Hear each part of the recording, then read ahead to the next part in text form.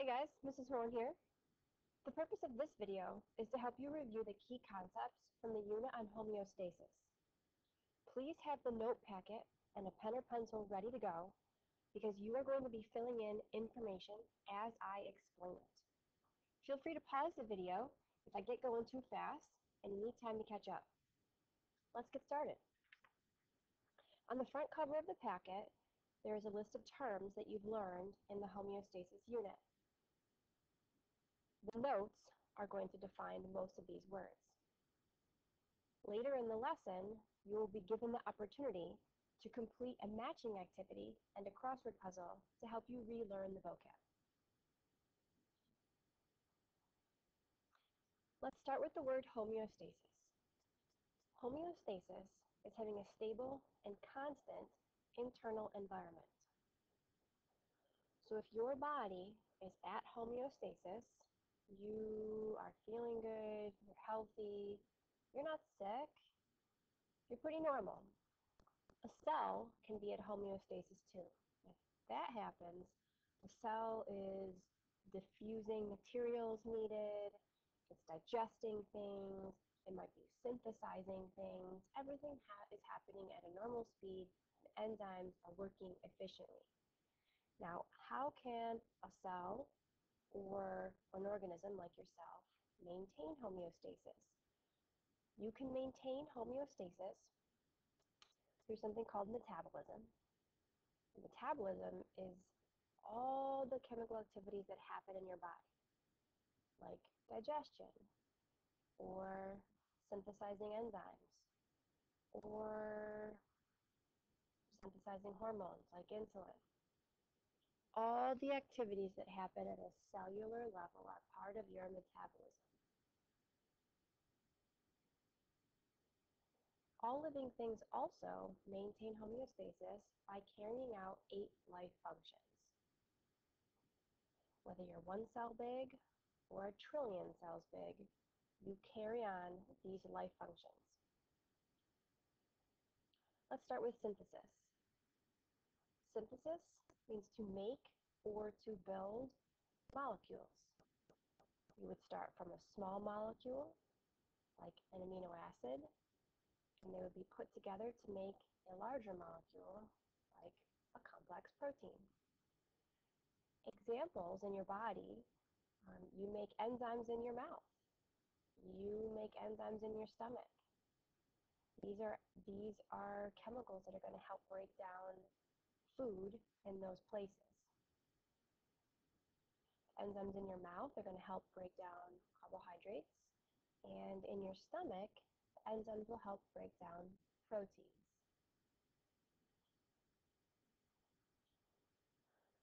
The next life function is respiration. All living things carry on cellular respiration.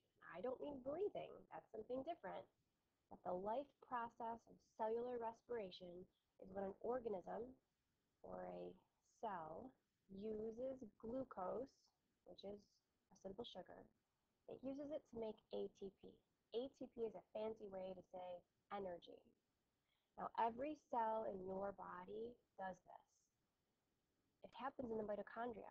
Mitochondria uses sugar that you ate to make this, this energy, this ATP. Then that ATP, conveniently, will be used for other things that the cell needs. The cell will need energy to carry out active transport or for synthesis. All living things also grow. Growth could be measured in increase of cell number or the actual size of the cell.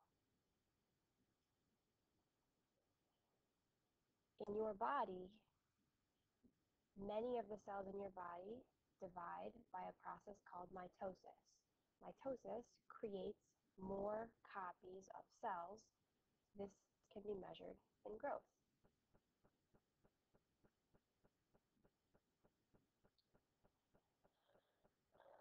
In your body, you have a whole system that gets rid of waste. It's called the excretory system. But if we think more at a cellular level, every cell carries out the process of excretion. And excretion simply means to get rid of chemical waste. Wastes that your cells make are carbon dioxide, um, urea, there are nit um, nitrogenous wastes that are nitrogen-based compounds that your cells need to eliminate. And ways that you can eliminate them are through your urine, sweat is, those are chemical wastes, tears are very salty, which is a chemical waste, and even exhaling that carbon dioxide every time you breathe, that is getting rid of CO2, which is a chemical waste.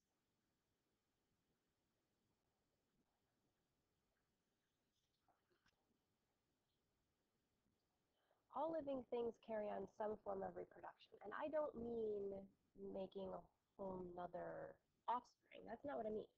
I mean repairing cells or making more copies of cells.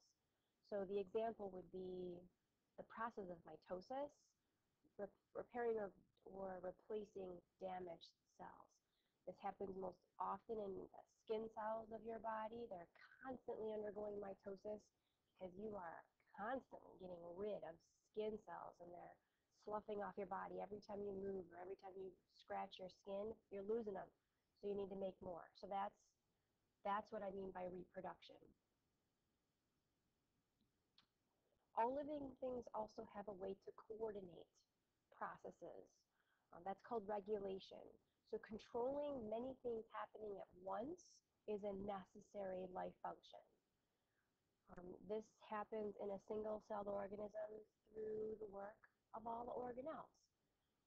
The nucleus, the cell membrane, the vacuole, the ribosomes, the endoplasmic reticulum, they all have their own individual jobs, but they need to coordinate their actions so that they can work together very efficiently.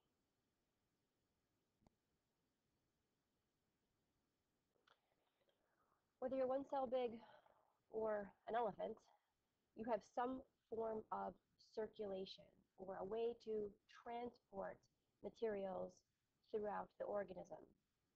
So this life function is moving substances through an organism. In a human, it's the blood that does this for you. And the blood carries oxygen, nutrients, and it carries it to every cell of the body. Now, if you're an amoeba and you're only one cell big, you don't have blood, but you do have cytoplasm inside your cell. And those materials, the oxygen and the nutrients, would move through the cytoplasm to get to the proper organelles. And last but not least, every organism has to break down materials somehow. It might not eat traditionally, like you would put food into your mouth and chew it up. It might not be like that, but any way a living thing can take nutrients and break it down so that it can be in a more usable form, that's considered digestion. Um, in your body, chemical digestion happens in your mouth, in your stomach, and in your small intestine because all of the, those locations have enzymes, which enzymes we'll talk about a little bit later. But enzymes are chemicals that help speed up process of digestion or other processes in your body. Now, all of those things I just mentioned are ways that you can maintain homeostasis. But what happens if homeostasis is not maintained? What happens if some of those things aren't working the right way? Well, um, could get sick, there could be some disease, or could be something pretty severe, um, the organism might die if homeostasis is disrupted and cannot be recovered some examples of ways that homeostasis can be disrupted that you might be able to relate to. Um, having a little fever. I know you've had a fever 100, 101, maybe even higher than that. That means you're not at homeostasis and things are not working normal. When you get a cold and you get a runny nose and you get a cough, or if you've had the chickenpox, which you probably have not had the chickenpox because you've had a vaccine for it. But all those are just some examples of how we can relate this to our body.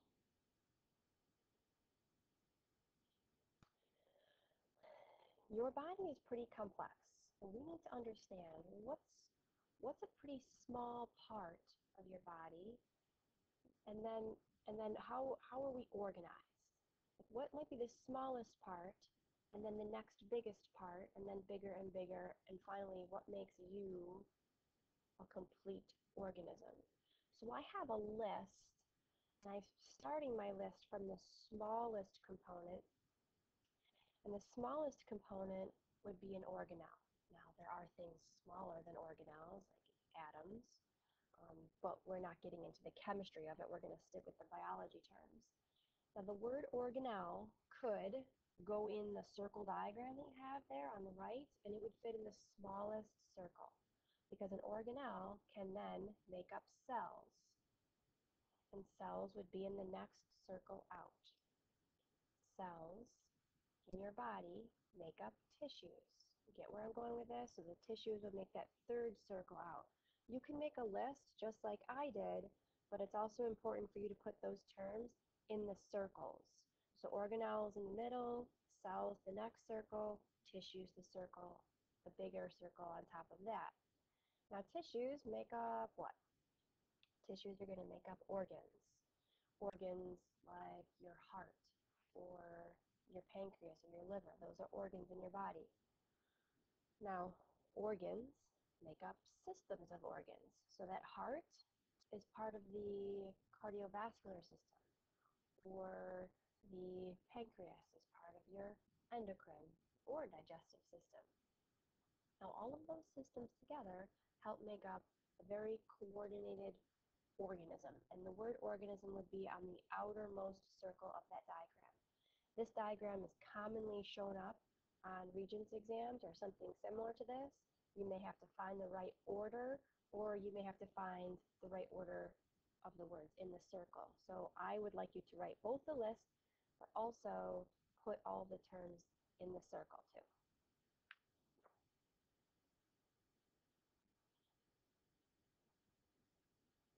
Okay. We've talked about how to maintain homeostasis, and we talked about all those life functions. Um, but if you're a single cell organism, you don't have tissues and organs and organ systems, a single cell organism has to rely on organelles. So I'm going to give you information on different organelles and what they do specifically to help the cell maintain homeostasis. So I'm going to kind of show you a lot of information all at once. Um, let's start over here with the Golgi complex and then we'll move clockwise around the diagram. So the Golgi complex is this structure right here. It looks like a bunch of pita pockets cut in half. Um, the Golgi complex prepares proteins to be moved to other areas of the cell.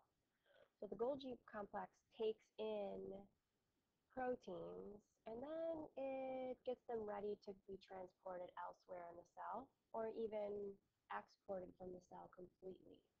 So it, it prepares them for that process, maybe puts some receptor molecules on the outside, but it, it gets them ready for what where they're going to. A vacuole, this is an organelle that's going to store things. Um, in this animal cell here, it stores food, it stores water. It looks kind of small, looks like a little bubble. Um, not something that you can see under the one of the microscopes that we have in, in class. Um, and in an animal cell, it's, it's considerably smaller than the vacuole you're going to see in the plant cell in a minute. One of the more important organelles, and what's so important that we're actually going to hit on it on the next page of the notes, is the cell membrane. And that's, uh, that's the membrane on the very outside of this animal cell. And that helps to control what will enter and what will exit the cell. So what comes in, what goes out. Uh, ribosomes. Ribosomes, we've got speckled all throughout the cytoplasm here. We also have ribosomes attached to the endoplasmic reticulum, or the rough endoplasmic reticulum right here. Purpose of the ribosomes, this is the site of protein synthesis. This is where part of that protein synthesis process happens. Ribosomes are really, really small. They're probably the smallest organelle um, in the cell. Mitochondria. Mitochondria is this structure right here, has a bunch of squiggly lines in the middle of it. Purpose of the mitochondria is cellular respiration, and I had mentioned that earlier when we talked about the life functions, but cellular respiration uses two things. it uses oxygen, it uses glucose from your food, and it makes that ATP, makes that energy which this cell will use, or these organelles will use, to carry out all of their life functions. The endoplasmic reticulum. The endoplasmic reticulum helps to transport proteins. Now there are two kinds of the ER, which is what we call it for short. One is the rough ER and one is the smooth ER. The difference is that the rough ER has ribosomes on the outside and the smooth ER does not. At the bottom of our animal cell here, we've got a couple more things to add. Um, this is pointing to the chromosomes that are inside of the nucleus, and the chromosomes are what contain the actual DNA. That's where all of the genes are, which code for different traits for an organism. Um, and the number 46 should go with that. There are 46 chromosomes inside the nucleus if you're considering a human cell. Not all organisms have 46, only humans. Uh, all of the space in and around all these organelles is called the cytoplasm. This is the space where the organelles are located. This is where materials are transported. This is where all of the cellular processes take place in the cytoplasm space. And the nucleus. The nucleus is the structure in the center here. It is what holds the chromosomes and helps to coordinate all cellular activities. Now, plant cell, which is what we have at the bottom here, I didn't explain the function of everything labeled because a lot of those things I've already explained up here for the animal cell. But there are a couple differences between a plant and an animal cell that we need to be very familiar with. The first one is the plant cell has a cell wall. The purpose of the cell wall is to make the cell very rigid, sturdy. It helps plant cells to um, give them their shape. And um, like the cells in a, in a stem of a plant or a leaf of a plant helps them to stand up or lay nice and flat to absorb the sun. Plant cells also have chloroplasts. I did take a marker here and color some of them in green because they are green due to the chlorophyll. But this is where photosynthesis happens. Those chloroplasts absorb light the other thing that's different about a plant cell is that it has a vacuole, but it's huge. Look at this picture. This whole space right here is the vacuole, um, whereas up in a plant cell, it was really, really small. The vacuole in a plant cell does hold lots of water. Um, it can also store other things, like if it's a cell in a flower, a petal. Vacuoles will actually hold the pigment to that petal. So if you're looking at a red rose, where's that red color? The red color is typically found in the vacuole. Uh, let's get some more detail about this cell membrane. I had labeled it in the diagram, but there are three main things that a cell membrane does, and we need to be familiar with all that the cell membrane can do for a cell. I had said before that it lets things in and out of the cell. So let's let's put that down again. Materials will go in and out of a cell, passing through the cell membrane. The cell membrane is also what allows a cell to communicate with other cells. Now that communication happens through hormones, which are chemicals. One cell might release a hormone, and another cell might receive the hormone, which means it's received the message. But the cell membrane is where all of that communication takes place. And the third thing is that cell membranes can help recognize other cells. They recognize cells in your body as you because all the cells in your body have little tags on them that say your name well, not really your name, but they're all labeled you, and your body recognizes it and knows that they're supposed to be there. If for some reason something foreign gets into your body, like a bacterial cell, the bacterial cell isn't labeled like your cells are, so it looks very different. And a cell membrane is what can determine that that's not supposed to be there.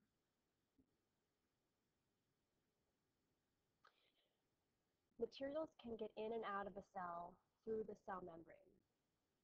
And there are two types of transport in which materials will cross. One, we'll start on the left, is called active transport. Now, active transport uses energy. Energy is required for the active transport of materials. This is when molecules will move from a low concentration to a high concentration.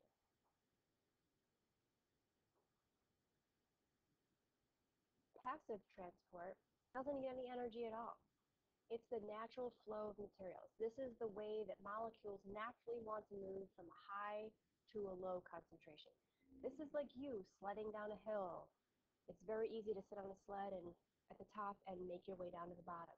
But getting back up to the top, that's going to require some energy. That would be um, related more to active transport.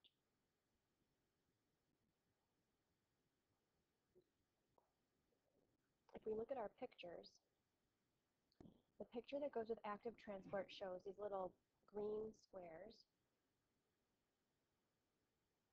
There's not many of them over here on the left, but they are being, they are moving into the cell. So here's our low concentration, moving to a high concentration, and here's our energy. Have to have energy to do it because it's moving against the concentration gradient. Over here on our passive transport side, we've got a high concentration, and all these little molecules are moving to where there's nothing, a really low concentration. And those molecules are going to move until they're all equaled out, until all those green molecules are equally balanced, covering all of that space. Passive transport has two examples. One is diffusion, molecules, any molecule moving from high to a low concentration. And the other is osmosis. And osmosis is when you specifically talk about water, only water. And osmosis is the diffusion of water. I had mentioned that cells, the cell membrane, is essential in communicating with other cells. This picture is a good representation of that. This little blue dot, it's blue on mine, uh, that's, that's an example of a hormone. This cell right here releases the hormone through the cell membrane. That hormone is then searching out the target cell. It will fit in with a receptor with a complementary shape. There might be lots of other cells with other receptors, but only the receptor that fits the shape of that hormone will receive the message. So important things to know. Hormones are a specific shape. There's other things you've learned in living environment that are also shape specific, like antibodies and enzymes. Well, hormones are also shape specific. Hormones are only going to fit into receptors that will receive their shape so only those cells receive the message.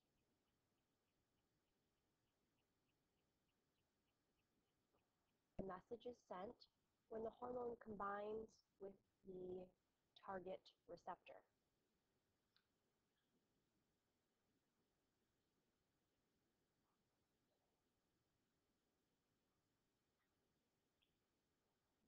Okay.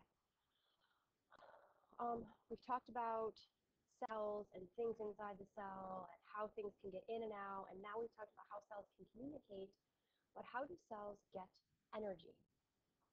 Um, we know that they need that ATP to do stuff, to do life functions, but how, let's get some details on how they obtain that energy. So there are two processes that happen in cells. One is photosynthesis. That's only going to happen in plants happens inside a chloroplast. And this is when plants absorb light energy from the sun and they convert it into a chemical form of energy, which is glucose. Light that comes from the sun is energy, but it's in a form of energy that plants, they can't do anything with it. They can't use it. So the process of photosynthesis is, is changing the energy into a more usable form for plants. respiration, this is where cells, or the, the mitochondria in a cell, is going to take glucose and convert it into ATP, which is a more usable form for um, cellular functions. Now that glucose comes from whatever the organism eats. Um, in a plant, it comes from the photosynthesis that's carried out in the chloroplast. So there are some pictures here which are some good diagrams that, that both show what's required for the process and what is produced in the process. So here's what's required and here's what's produced. All right, let's, let's start our list over on the photosynthesis side. So all this information comes right from the picture. So plants need light, water, and carbon dioxide. Took that right from the picture. Plants are going to make glucose and oxygen. The glucose is then going to be used to fuel respiration in the mitochondria of plant cells. The oxygen, uh, a lot of that is just released out into the atmosphere. Some can be reused for respiration. This process happens inside a chloroplast. It's only happening in plant cells. Over on the cellular respiration side, this diagram shows us that cells need oxygen and glucose to carry out respiration. They make carbon dioxide, water, and ATP. The ATP is then going to be used by that cell or other cells to carry out all the life functions that have to occur, like synthesis and digestion and transport and regulation. All that stuff needs energy to do, and it's getting the energy through cellular respiration from the mitochondria. All living things carry out cellular respiration, whether it's an animal, a plant, bacteria, a fungus. All living things must carry out respiration. And this process happens in the mitochondria.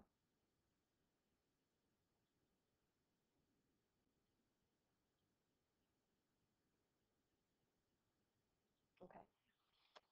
Um, I had given you a diagram before about how things are organized, and it went from the smallest thing to the biggest thing. Well, if we look back at what that smallest thing was, it was an organelle. If we look further inside an organelle see what is it is made up of, um, it's made up of different types of molecules. And there are two different types of molecules that make up all living things. One is an inorganic molecule. Something that's inorganic means it doesn't contain carbon and hydrogen. Water is an example. Water is H2O. It has hydrogen, but it doesn't have carbon with it, so we can classify it as an inorganic molecule. Any kind of salts, acids, those are all inorganic molecules. These are still required things for life. These are not bad things. Living things still need inorganic molecules. It's just a different category of molecules. Then there are molecules that contain carbon, sometimes hydrogen, um, these are our organic molecules like protein, lipids, carbohydrates, nucleic acids. You're going to find all these things in the foods that you eat. Of those four molecules, we need to be familiar with what can it be broken down into, what is its purpose in the body, and what, give me an example of a food that we can find it in. Let's start with carbs.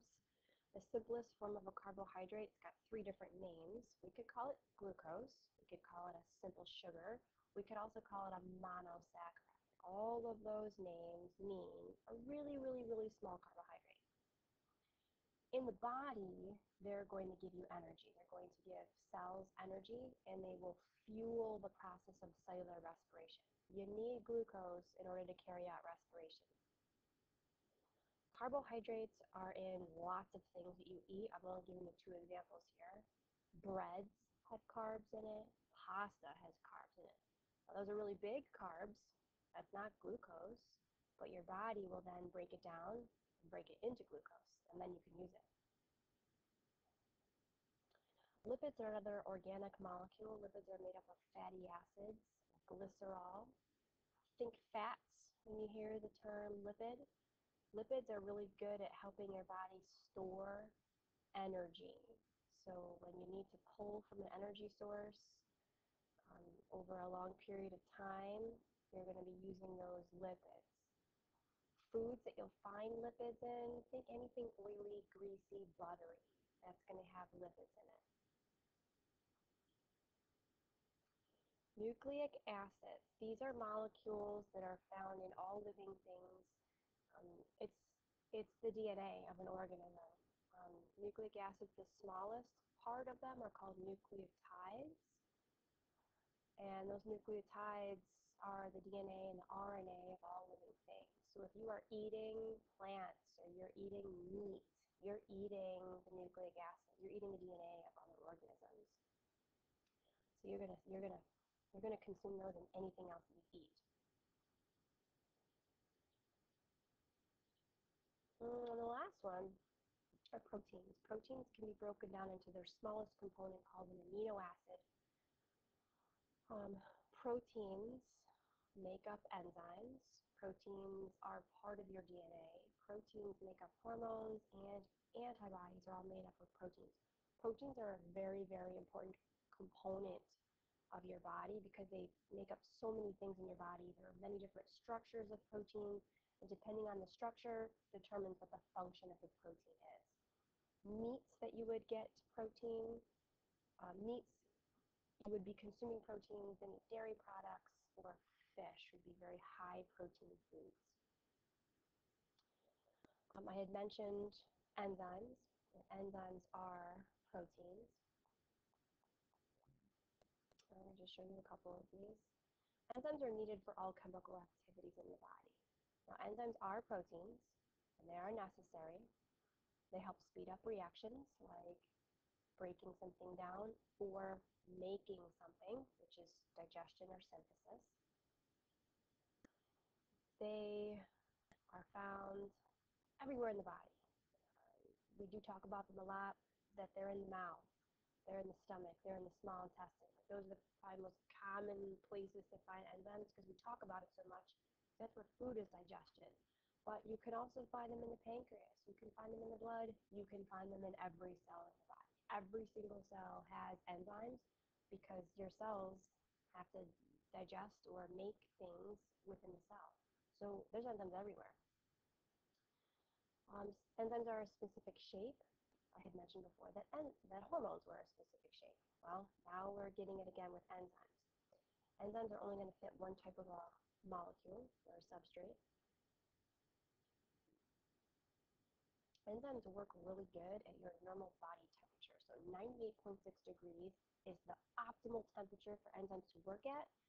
If anything is, if it's higher than that and you have a fever, your enzymes are going to slow down. They're not going to work to their most efficient um, capacity. If it gets too hot, enzymes might actually denature. So a denaturing means the shape of the enzyme it changes. Once the shape of the enzyme changes, I can't use it anymore. It's not being used for its original purpose. Your body makes enzymes all the time, so if enzymes do get damaged, your body can just make more. But extreme temperatures where they're really hot or really cold can denature enzymes, or other extreme environments, like really salty, really acidic, really basic. There, there are many different scenarios that would impact the functionality of an enzyme. The pictures that I have here, this is a this is a illustration of digestion. So here's the substrate, this this top piece here, that's what's going to be broken down. The enzyme is at the bottom. Notice how they're going to fit perfectly together. And that enzyme is going to break apart the substrate. And now we'll see that we've got two products over here, two smaller pieces. So this could have been a protein, um, and then it could be broken down into two amino acids. So that covers all of the material, the necessary, most important material for the homeostasis unit, and I hope this helps.